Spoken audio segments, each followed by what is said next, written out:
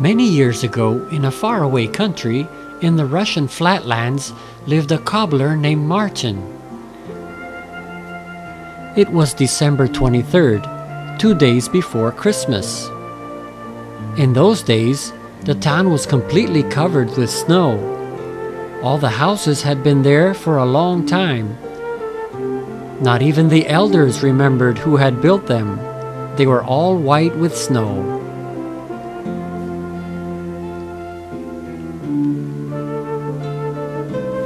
Martin had always lived in one of those houses. During his life, he had repaired many shoes, beautiful and ugly ones, shoes for rich people and poor people. From his little window, which looked out on the street, he saw many shoes pass by. He knew who the people were by the type of shoes they wore rich and elegant shoes, army boots, business shoes, ladies' shoes, and so on.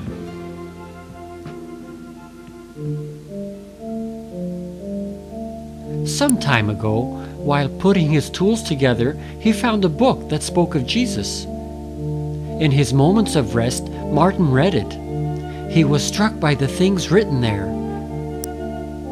That day he read, I came to your house, but you did not welcome me. Martin thought, But I too am like those people. I too think only of myself. What do I do for others? But even if Jesus did come today, what could I do for him? Thinking like this, Martin fell asleep.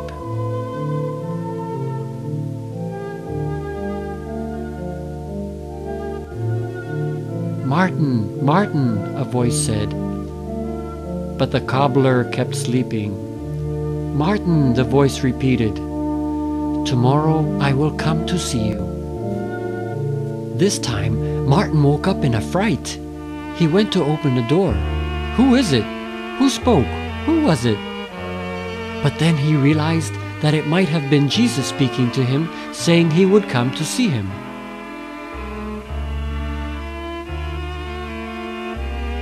The next day, Martin started tidying his shop early.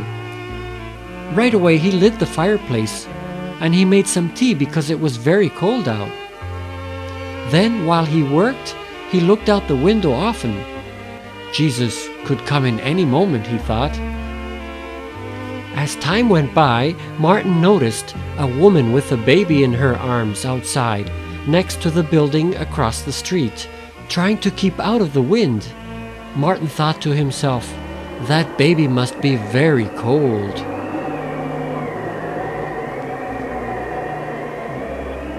So he went out and called the lady. Madam, come here. Come inside. Come in.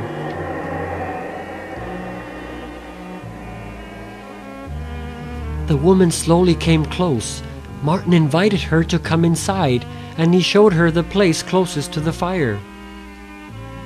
I don't want to bother, she said. My train leaves only in two hours, and I don't know anyone in this town to take me in.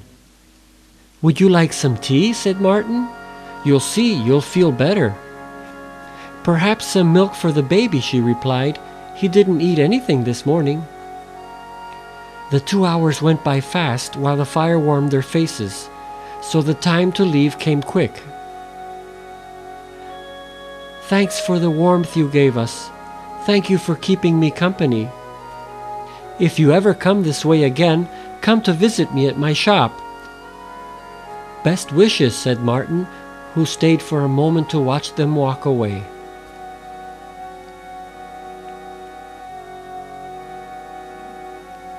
Martin had not yet returned to work when the door opened abruptly.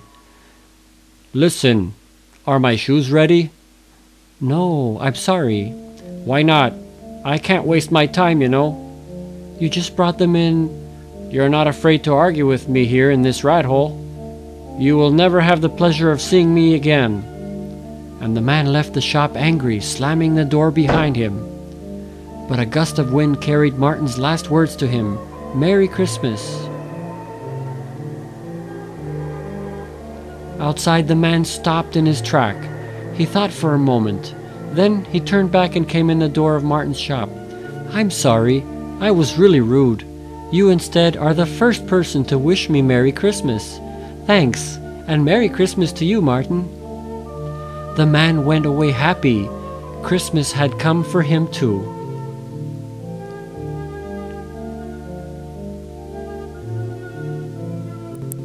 In the meantime, Martin noticed an old man carrying a basket of apples in the street. He stopped next to the shop to rest. A boy suddenly jumped out, grabbed an apple, and ran away. But the old man grabbed him by the arm. Stop, stop! I'll take you to the police, you thief! You'll be punished good.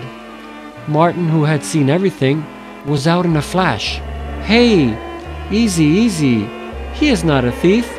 He's probably just a little hungry, I'm sure. But he stole. Yes, but hunger is like sleep. You cannot control it. I'm sure you would not bring a child to the police if he were sleeping in the street. Of course not. Exactly. Soon it will be Christmas, and no one should be sad. One look from Martin, and the apple slid from the boy's hand back into the basket. No, keep it. It's my gift to you. I can take it, really? Can I? Yes, of course. Didn't I say so? said the old man with a smile. Here, help me carry this basket. And together the boy and the old man went on down the street. Martin instead returned to his work, always waiting for someone to show up. Soon after, Martin saw two children pass by in front of his window. They're my friends, he thought, and right away he went to open the door. Hey, come over here. Why the faces? You look sad. It's Christmas.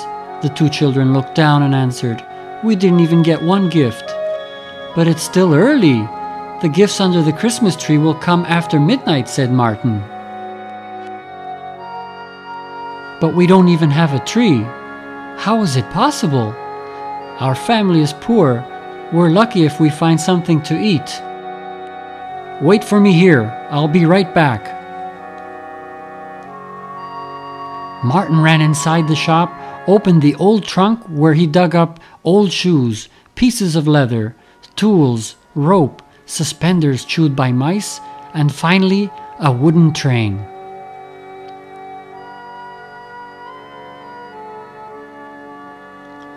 He looked some more, and with his hands full of toys, he shouted to the children waiting outside the door, Come, come help! I can't open the door. The two children, seeing him like this, didn't know whether to laugh or cry. These are for you. Thank you. Thanks so much. But now go home. Soon the bells will ring and it will be Christmas. He stayed at the door waving while the children ran off full of joy.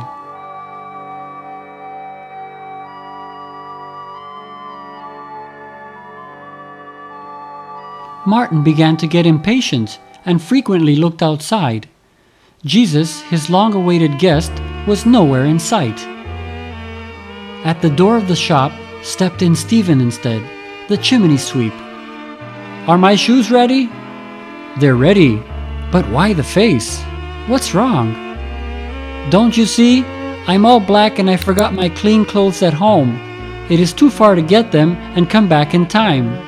Would you want to go visit a friend all messed up like this? I don't, and it had to happen tonight. Wait, said Martin. He pulled out a brand new brush, and with it he made all the coal dust disappear from Stephen's clothes. Come over this way and wash your face.